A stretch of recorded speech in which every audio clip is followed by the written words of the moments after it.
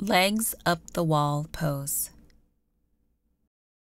From seated, take your left hip to the wall so that the hip and the wall are touching. Exhale, gently swing your legs up the wall and come to lie down on your back.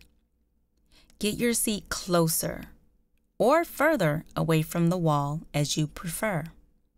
Legs firm, hips width distance apart, and feet flexed.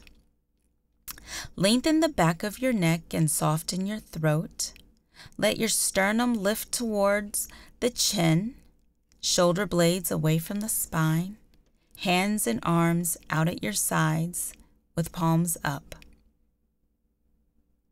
Breathe deeply. Close your eyes and rest.